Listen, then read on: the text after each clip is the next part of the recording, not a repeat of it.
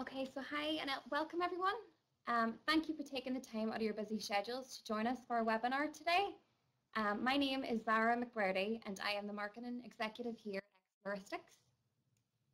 Today we are presenting statistical analysis of prognostic biomarkers in personalised medicine, presented by Bernard North, statistical consultant and application specialist at Exploristics.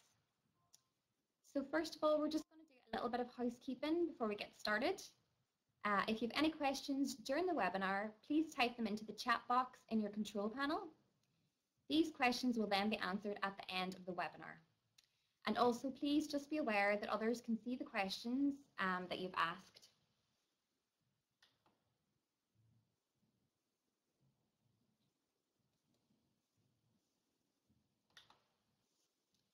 So um, let me just give you a little bit of background on Exploristics um, and what we do. Founded in 2009, Exploristics is a statistical analysis consultancy that uses advanced analytical methods to help our clients extract the most information from a wide range of data sources. Exploristics team is largely made up of statisticians and programmers. We work successfully with a range of clients from the animal health, pharmaceutical, biotechnology, diagnostics, and medical device industries. Our team boasts extensive experience in clinical research, statistics, modelling, data management, GCP, and diagnostic development, with specific expertise in the clinical and animal healthcare applications to include safety analysis, bioequivalence, pharmacogenomics, and biomarkers. So now, without further ado, I'm going to pass you over to Bernard North, who will begin the presentation. Thank you, Zara. As Zara said, we will be looking at established and newer methods for assessing prognostic biomarker models. So first of all, what are biomarkers?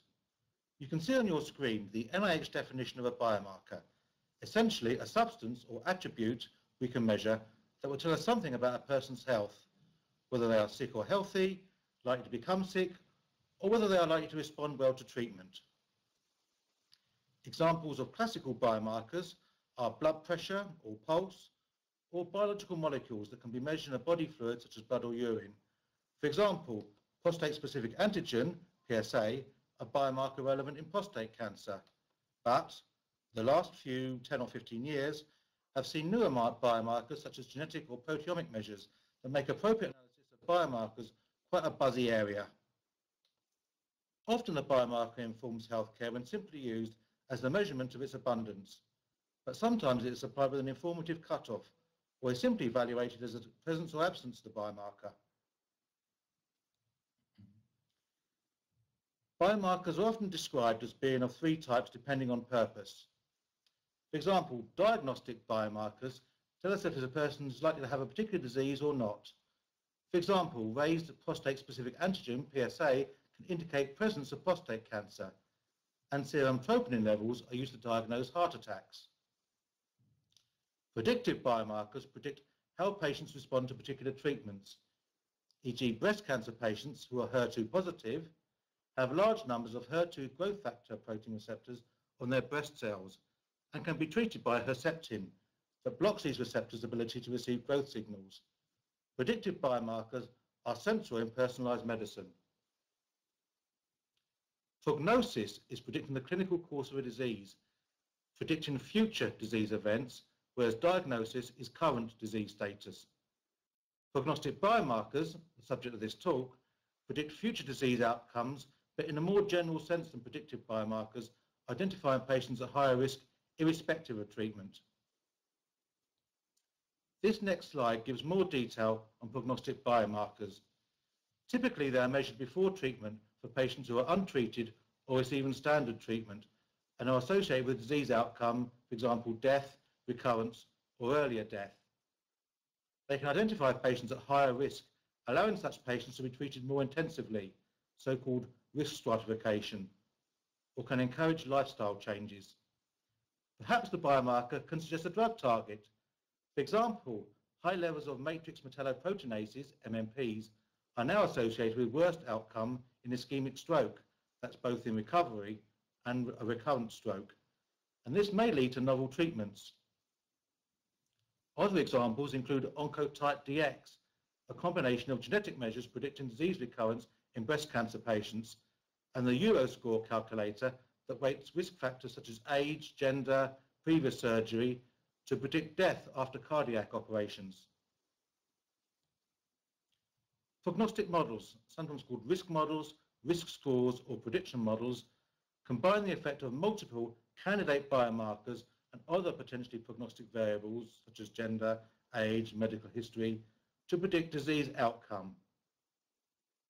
The data is often collected from a prospective cohort study where a group of subjects or patients are followed in time, having had their biomarkers and other characteristics measured at baseline, and sometimes also during the follow-up. This is often regarded as the best approach, though other approaches, such as retrospective cohort studies using existing data collected for other purposes, are possible. Often the response is a binary response, e.g. the occurrence of an event such as death from disease. Binary responses are the main subject of this talk, but the outcome can also be a survival time, for example, the time until an event such as death, and similar methods apply. Logistic regression is a standard technique to combine multiple biomarkers and other risk factors to predict a binary outcome. We want to find a subset of k biomarkers or prognostic variables, x1 to xk, whose weighted combination gives the best prediction of an event. Here, the biomarker variables are x and the weights b, and logistic, and logistic regression finds the best subset and, and best predicted weight estimates to reflect our data. And the equation shown guarantees that the predicted probabilities are between 0 and 1. 0 and 1. The equation also shows that positive weights, values of B, for biomarker X indicate that larger values of the biomarker, e.g. larger tumour size, are associated with higher risk predictions. We can take XB, the exponent of B for a particular biomarker, to be the odds ratio estimate for a unit change in the biomarker. For example, the increase in the odds of prostate cancer for each unit increase in PSA level.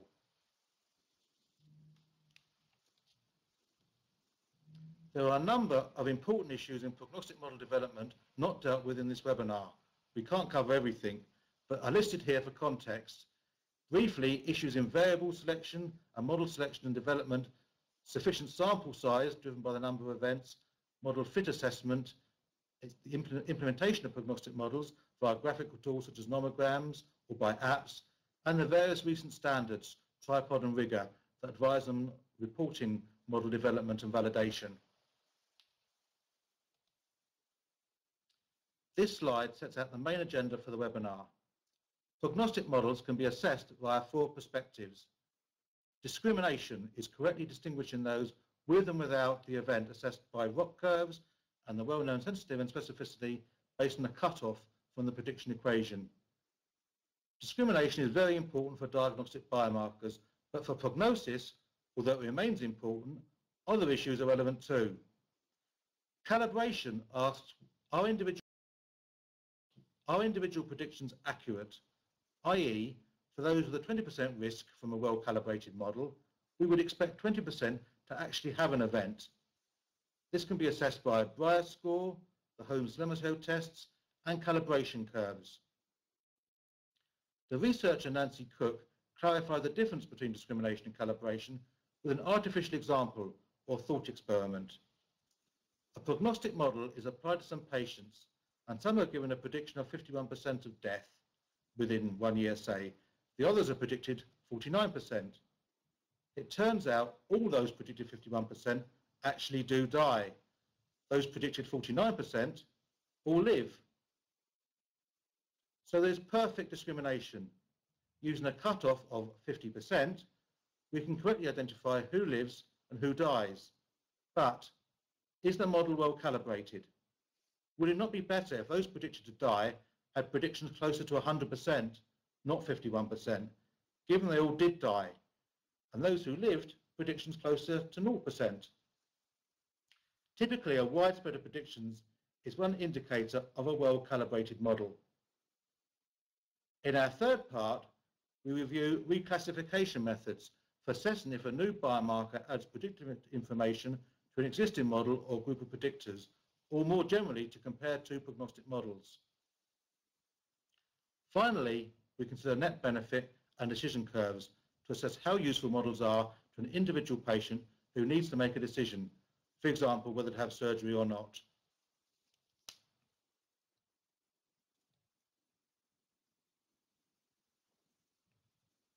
Throughout this webinar, we will be illustrating methods with a testicular cancer dataset first analysed by Professor Ewout Steyerberg for the REHIT study group in 1995. Professor Steyerberg is another important researcher in prognostic model analysis and has used this classic dataset to illustrate prognostic model methods in a number of papers. Testicular cancer patients are treated with cisplatin chemotherapy. After chemotherapy, surgical resection is generally carried out to remove remnants of the initial metastases, but resection itself has some morbidity and mortality. We want to predict which patients have this residual tumour and which can safely avoid this surgery. We have five key predictor variables. A binary variable for the occurrence of a tissue type called teratoma. Two more binary variables indicating elevated tumour markers pre-chemotherapy alpha-fetoprotein, AFP, and human chorionic gonadotrophin, HCG. And also we have the size and the reduction in size of the original tumour mass. We also have another tumour marker, namely scaled lactate dehydrogenase, whose log transform value we use as an additional sixth variable. We show the odds ratios and p-values for each variable in what I call the five variable model in the table. Teratoma is significant, as are the two markers. The post-chemo tumour size is not significant, but the reduction is very significant with large reductions protective, odds ratios less than 1. Remember, as with any analysis, it is useful to do summaries of the data beforehand. As a quick visualization, we can see a histogram of predictions from the five variable model for those with and without residual tumour, cases and controls, we can call them. Those with tumour, the cases on the lower histogram, do have higher predictions, as you'd hope, and the proportion above an arbitrary cutoff of 60% are shown in red, with the proportion above the cutoff being the sensitivity, here 68%. And the controls below 60% on the top histogram are in blue, so a proportion of 80% of controls, known as the specificity, were below the cutoff.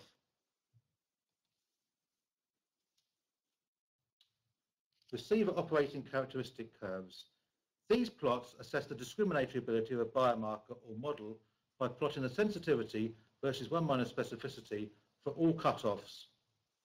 It can be applied to individual biomarkers or the predictions from a joint model of a number of biomarkers and other predictors. The area under the ROC curve, called the AUC or C statistic, measures the separability of cases and controls. If a biomarker or the predictions from a model are totally uninformative, the ROC curve lies on the 45 degree diagonal. This means that for any cutoff, the proportion of cases and controls exceeding the cutoff are the same. The biomarker has the same description in cases and controls and is uninformative.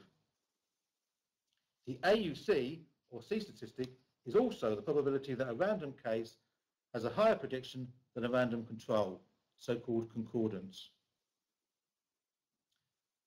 We can now see the ROC curve for our five variable model produced by the ROC-R package in R.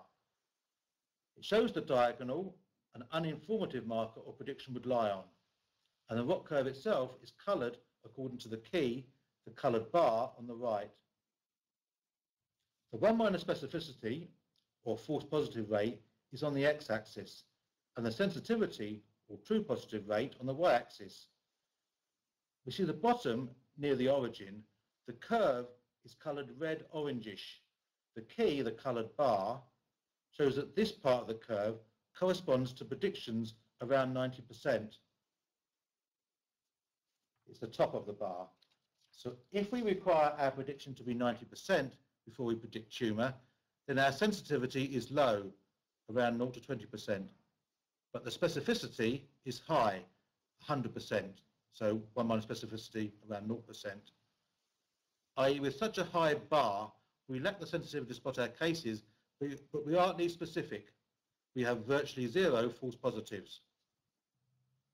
As we lower the cutoff, the curve moves up to the right and changes colour according to the key, with more cases being correctly classified, but also with an increased, but lower, increase in false positives, controls above the cutoff being misdiagnosed as controls.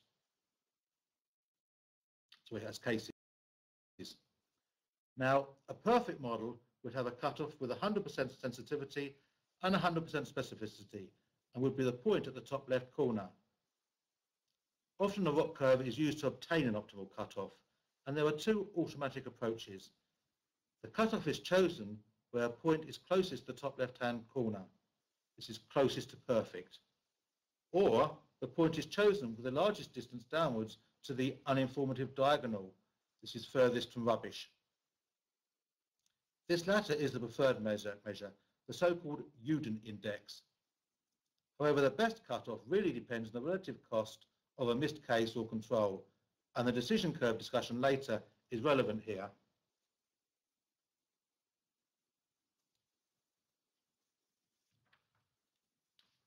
Now we move to measures of calibration. An initial measure is an R-squared analogue to linear regression, of which one example given is by Nagelkerke. Next, the Brier score is a classical prediction measure totaling over individuals the difference between the observed binary outcome, scored as 0 or 1, and the prediction, with a good model having a small score, i.e. those with events scored as 1 having prediction say of 0.99, etc. However, its value also depends on the actual prevalence or proportion of cases P. So a scaled Brier score, which is then deducted from 100%, is more commonly used where closer to 100% means a better model. We show these metrics for the five-variable model calculated by Professor Frank Harrell's R package RMS. The 30% for the scaled Briers is typical. We also show the AUC, and for completeness, a scaled version called DXY, Somers' D, produced by the package.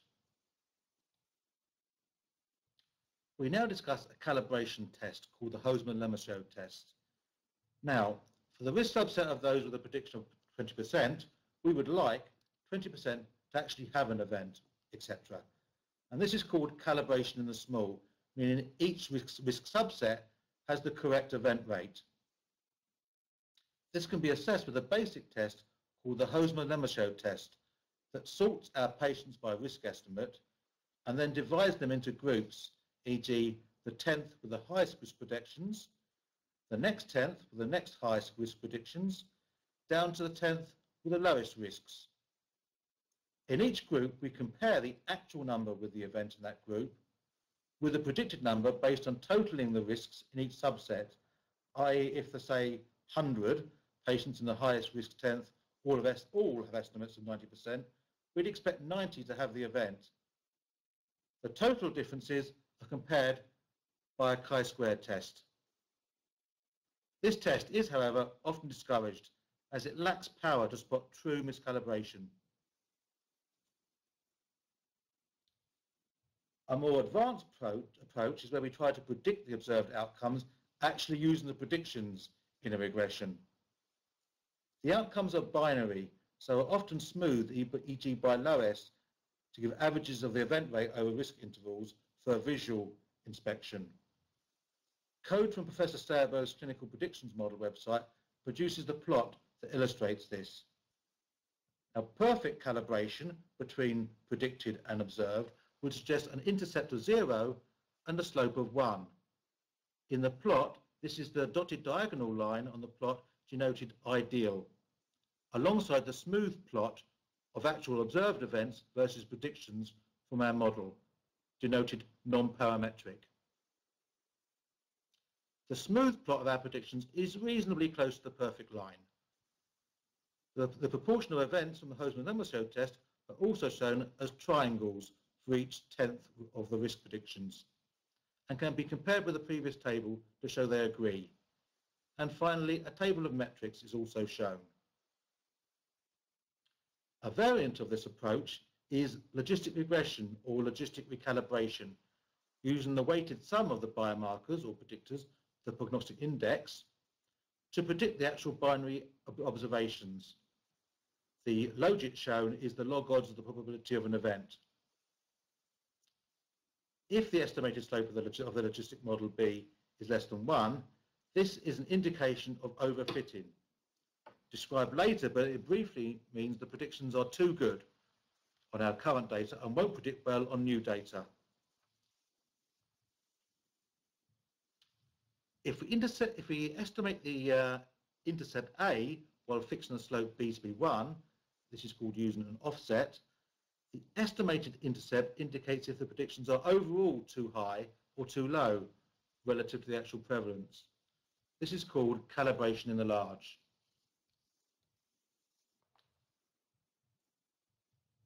A simpler way to assess the predictability of a prognostic model is by producing a two by two table of predicted versus actual outcomes. This is called the confusion matrix. We can predict a patient as a case if his or her predicted risk from a model is greater than, say, 50% or 60%. Here, the confusion matrix for the five variable testicular cancer data with a 20% cutoff is shown. 284 cases and 181 controls had their tumour status predicted correctly. Now this is likely to be less when applied to new data, as the estimates were calculated from this so-called training data of 544 patients and are likely to be fine-tuned to this data set. The difference in prediction when applied to new data we call the optimism or optimism bias, and it will also make our estimates of discrimination and calibration over-optimistic relative to the performance on new data. This is often called overfitting or modelling noise, whereby chance effects in the training data reflect in the model estimates. So we know that our so-called original estimates of discrimination and calibration on the training data are over-optimistic. We would like to know how well the methods would perform on a wider population of patients, similar to the training data, which is a subset of this population. One method is bootstrapping.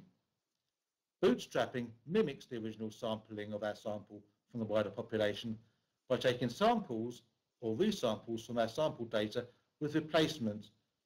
So in some bootstrap samples, some patients occur multiple times, others will not occur at all. For each bootstrap sample, we refit our model and obtain bootstrap prediction measures using the model on the bootstrap resample itself. We then apply the bootstrap model to the original sample. It will likely have lower prediction compared to that in the bootstrap sample as it wasn't fitted in the original sample. We note the difference in prediction as an estimate of optimism and repeat for each bootstrap sample. Each time applying the bootstrap model estimated from the bootstrap resample to the bootstrap sample itself and to the original data, noting the difference to obtain an overall optimism estimate. We then adjust the original estimates of discrimination and calibration, the apparent estimates, to obtain optimism corrected estimates.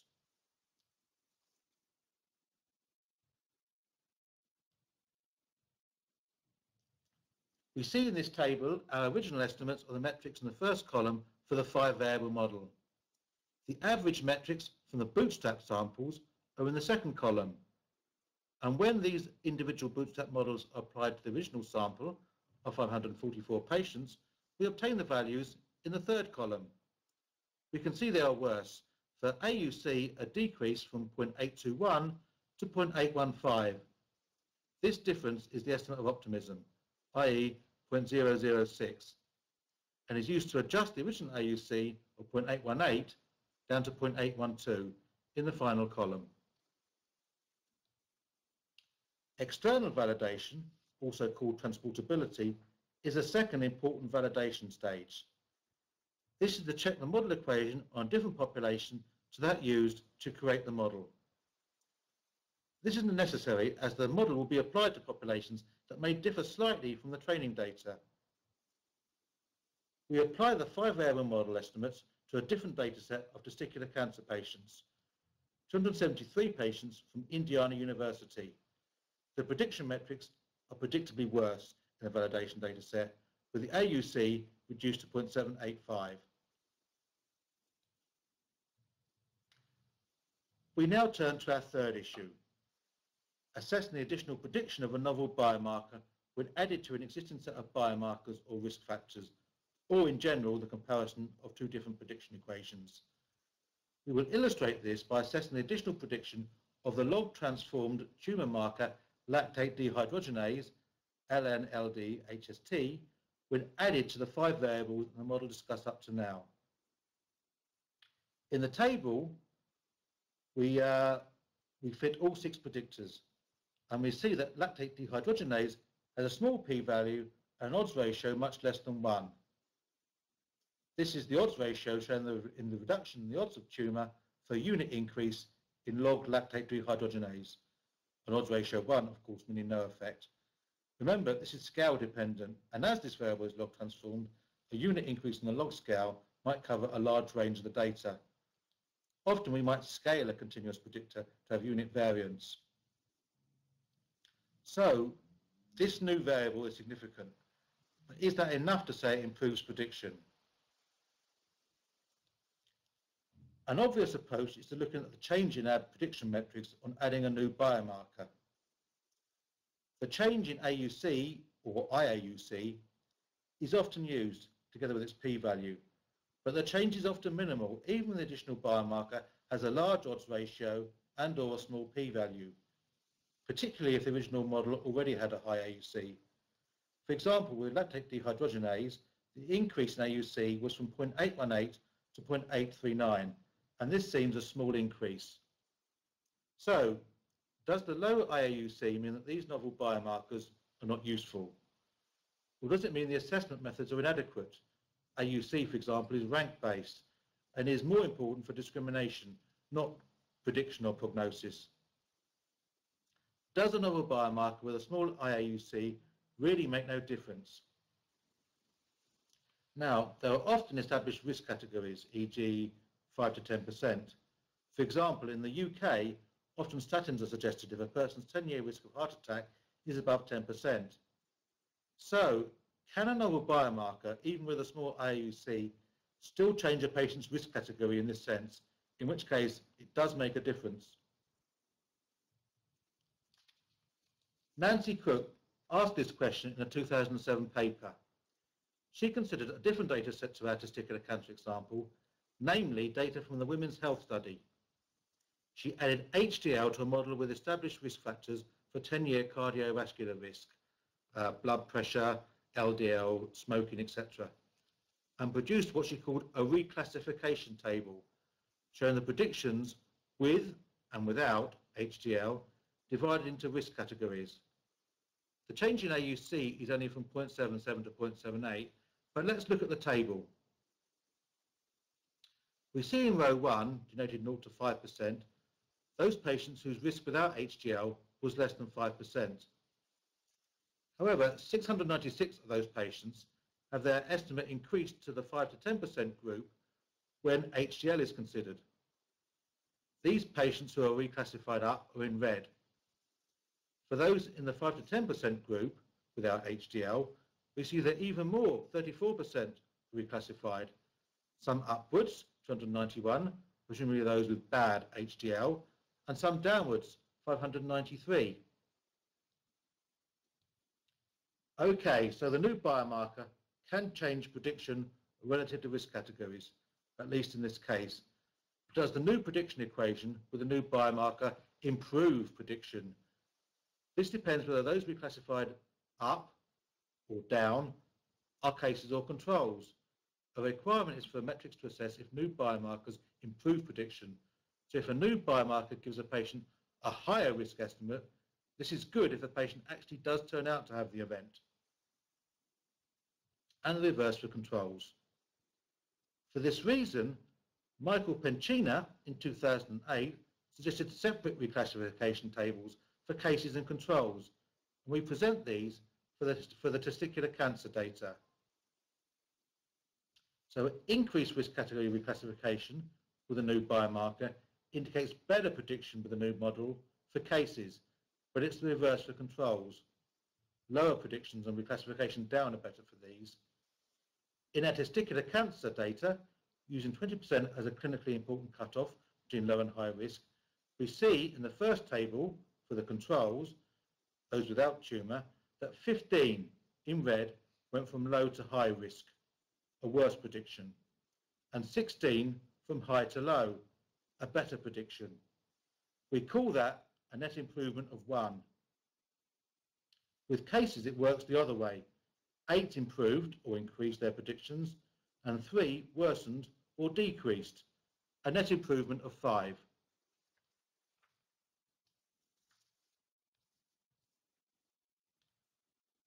On this basis, Michael Pencina defined reclassification metrics such as the net reclassification index as the net gain in cases we've described as a proportion of cases and similarly for controls and an overall NRI as the total.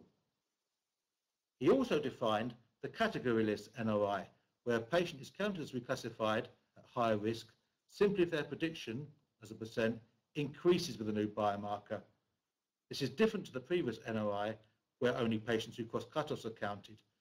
With categories NRI, all patients will either increase or decrease, unless the new biomarker has no effect, and a zero weight, meaning estimates with and without are exactly the same, and this is unlikely. The final reclassification metric is the Integrated Discrimination Improvement, or IDI, which is the increase in the prediction for cases as for cases an increased prediction is good, minus the increase in prediction for controls. So the original NRI is based on patient changing risk category. The categories NRI defines each, pa each patient as either increasing or decreasing, and the IDI looks at the actual differences in predictions. By plugging into the NRI equation the numbers in the previous tables shown reclassified across the 20% cutoff, we obtain an NRI of 0.02 with a non-significant p-value. So although 8% of the 544 patients were reclassified, the net gain from reclassification was only 2%. The categoryless NRI comes from a cross-tabulation of those who increase or not versus their case control status. We see in the top table, the, its last column, the cases, that 64.9% of cases increased their prediction with lactate dehydrogenase, the right direction, versus 35.1% who decrease. And for 51.4% of controls, decrease appropriately versus 48.6 who increase, giving a net increase of 32.6%. And this is significant.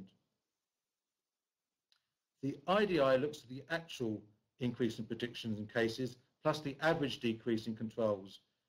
Using these figures in the bottom table for the two prediction models, we plug into the equation to obtain a value of 0.039, which is significant. Some of these metrics are, have quite small values, and this can be typical, possibly indicating the original model was quite good, with the new, newer model still offering a small amount of improvement. Reclassification metrics are now widely used. So it's useful, in my opinion, to know what they are. However, they have been criticised. For example, in 2013, Hilden and Gerds wrote a paper stating that IDI and NRI can be subverted by misspecified, poorly calibrated models, or for that matter, by outright cheating, i.e. by constructing exaggerated models. They illustrate this by giving this artificial example shown in the table. We have three columns for three biomarker groups, e.g. low, medium and high, with their proportions in the first row of 50%, 30% and 20%. The event rate is 30%, 60% and 80%. We have two models to compare.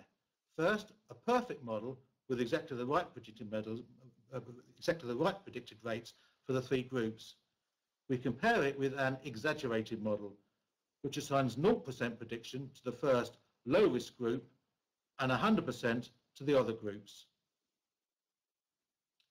The details at the bottom of this slide show that the exaggerated model has a substantial increase in IDI and categoryless NRI compared to the perfect model, even though it should be worse. Now, this data is slightly artificial, but there is an important message here made by the authors, namely that it's important to apply these metrics only to models that have been shown to be well calibrated.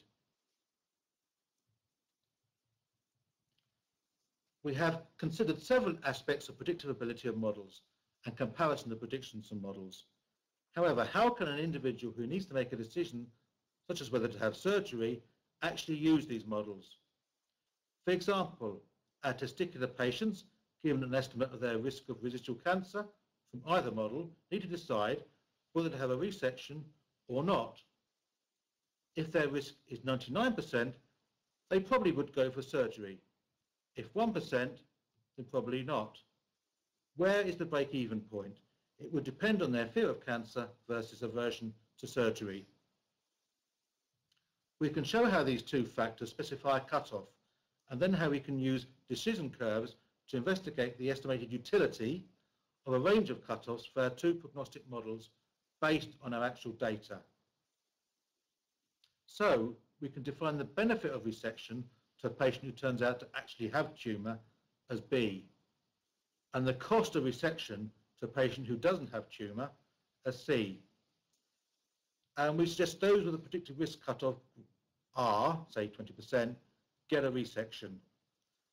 So with the proportion of cases, those with cancer as P, based on the cutoff R, we can define a net benefit as a total benefit over our patients minus the total cost and we can express it in the first equation at the bottom, bottom of the slide. So we calculate the total benefit and the total cost.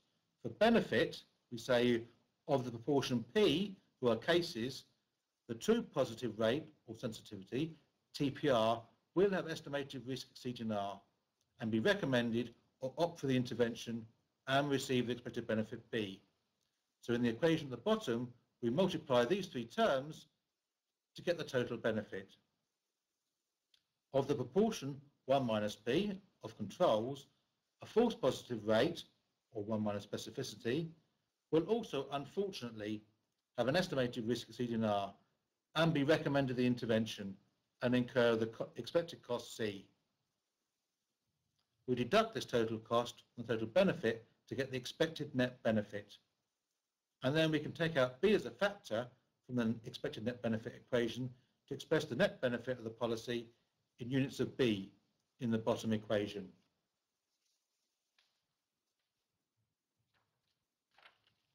Next, we show we can express B or C in terms of an indifference cutoff. Is 20% the threshold risk probability where expected benefit equals expected cost? If I'm undecided whether I have a resection or not when told my risk is BT equals 20%, and that means that 20% is my indifference cutoff, and it's related to my relative view of benefit and cost. So for the indifference cutoff PT, then my expected benefit is PT times B, and is equal to my expected cost 1 minus PT times C, i.e. if 20%, then I think a 20% chance of B is equal to an 80% chance of C. And the equation in the slide shows this math mathematically and rearranges it to get to give the relation between cutoff PT and C and B, i.e. PT over 1 minus PT equals C over B. So having expressed the cutoff in terms of B and C, we can now do two things. We can express the equation for net benefit that included the term C over B in terms of potential cutoffs. We can take a possible cutoff, e.g. 20%, and plug into our net benefit equation the actual true positive rate and false positive rate and the proportion of cases from applying each prediction model with and without lactic dehydrogenase to our data, as we've already done. And we show this now reclassification table to help us do this with PT initially as 20%. So the equation at the bottom, we express the net benefit equation for the actual numbers of true and false positives and total numbers. And we can show the net benefit at PT equals 20% for each model, i.e. the case when the predictions that are compared to 20% are derived from the model without lactate dehydrogenase, we see the net benefit is 0.439. And for predictions derived from the model with lactate dehydrogenase, we have 0.448. We see this by putting for no LDH um, the true and false positives of 0.289 and 180. And for and for when, when we do have um, LDH, we have 289 and 180. Traditionally, we also show the benefit for all patients getting the resection.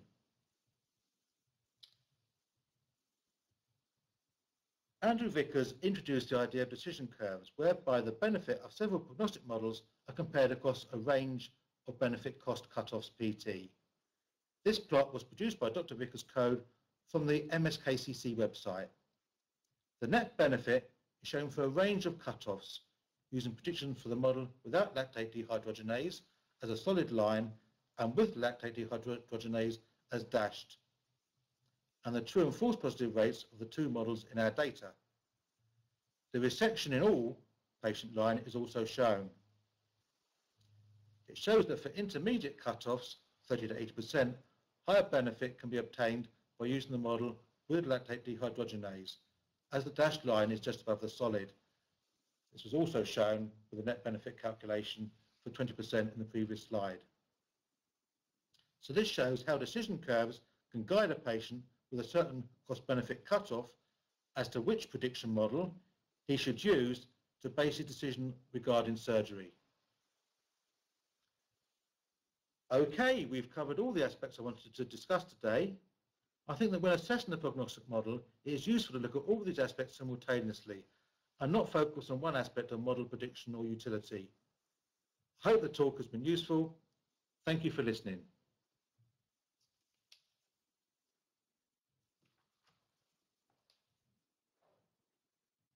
Okay, so thank you, Bernard, for that. Um, that was a brilliant presentation. Um, I think we've got a couple of questions in, so we're going to go ahead and take a bit of time just to answer them. Um, so our first question um, came from Andrew, and it's what is the difference between the tripod and rigor guidelines? Oh, well, that, that's a good question. Um, there are a lot of similarities. I mean, I should say that tripod seems to be much more widely known and cited. I mean, partly, but not totally, because it's an earlier publication. Um, they are very similar in their checklists. E.g., they specify, you know, you've got to say the objective, you've got to describe your patients and the predictors, um, how the model was developed. Um, Tripod also has a very large elaboration paper by Karel Moons, which goes into much more detail than just the checklist. It's actually a very large paper. I have noticed two differences. Um, tripod is very regards it as very important to specify whether the, the paper you're, report, you're reporting your model deals in model development or validation or, or both. Um, I mean, the, the rigor paper is important. Um, it's different, that's a lot shorter. But one thing about it I find interesting is it has a lot of detail on describing optimism bias and how that was treated in the paper. So I, I find that quite interesting too. But it's it's much less cited at the moment and used, I suppose that means. So thanks for the question, Andrew. So our next question comes from Kieran, and it's uh, for the testicular patients you describe, how do we know the true residual cancer status? Oh, that's a good question. I, yeah, I, I, probably should have said actually. Um, in the original Professor Steyerberg paper from the 1990s, it's made clear that all those patients actually did have a resection. And so I guess it was confirmed from the resection whether any uh, residual cancer was found or not. Okay, brilliant. Um, next, we're going to go to Lucy. Um, so has asked, you mentioned bootstrapping for internal validation. Um, what about cross-validation or test training data sets? Oh, good. well, that's, that's another good question. Thank you, Lucy. Um, I think it could be controversial. Um, well, we're dealing with the second thing. I mean, one issue with test training sets is that depending on which split you do, you can get a different model. Um, you get a different uh, training set and a different test set. Um, and if you split again, it'll be different. So to some people, and I've, I've heard Frank Harrell say this, that's a concern. Uh, and also if the total data set is small, then you know the, the split will be into two even smaller data sets. So you get a poorer model by estimating or training on you know only a small part of the data, a small data set, and also a poor estimate of prediction based on a small test data set. Um, cross validation is absolutely fine. You know, I didn't mention it mainly, mainly for time, to be honest. Cross validation and bootstrapping are both completely fine. Um, the two methods have been compared, I think. I think it's been said that cross validation tends to be less biased in, the estimate of predictions, but can have a fairly large variance, whereas bootstrapping can, you know, has a small variance, gives precise estimates, but they can be slightly biased. I think they tend to be pessimistic. But both are generally thought to be absolutely fine. Okay, brilliant. Thank you, Bernard. Um, our next question is from Amar. Um, did you use an ordinary bootstrap or the Efron's 0.632 method for the internal validation? That's a, that's a good question. Thanks, Amar. Um, it, it, was just the ordinary bootstrap. I mean, I, I, I do know about Efron's 0.632 method. Um, that gives an estimate of how much of the um, original data is in each bootstrap sample given we're sampling. And I know that's totally valid as well. So, I mean, that would have worked just as good and, you know, possibly better. but, but that's a good question, Amar. Thank you. Okay, guys. Um, so I think we've covered all our questions for today so far. Um, thank you, everyone. And thank you for your uh, lovely comments as well. Um, we appreciate you joining us for our webinar today um, and taking the time out of your busy schedules. Make sure to keep an eye on your inbox for the recording and a copy of the slideshow. I know a couple of people were looking for that and any future webinar dates. Um, also, if you have any further questions um, that you want to ask Bernard, please just email us at info at exploristics.com. Um, I think that's a wrap now. Thank you so much for your time and we look forward to seeing you next time.